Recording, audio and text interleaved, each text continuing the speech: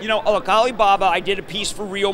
You know, look, I've been saying that there's uh, they have Fang there too. It's the Chinese. It's the red Fang we call it. and um, Alibaba. I interviewed uh, Tsai, who's the key man, um, last last uh, fall for uh, delivering alpha, a great conference that CNBC puts on, and uh, it was rather amazing. I came in so skeptical.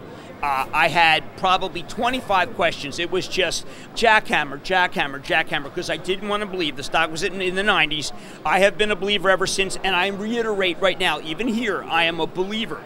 I don't tend to want to own Chinese stocks. That is American financials. They are scrubbed. I know I've gone back and forth with former contributor Herb Greenberg about this. All I can tell you is, is that I believe in Alibaba, and when you see that level of, uh, re, of, of, accelerated revenue growth, 14% growth, revenue growth, that's a tell that this stock's not done.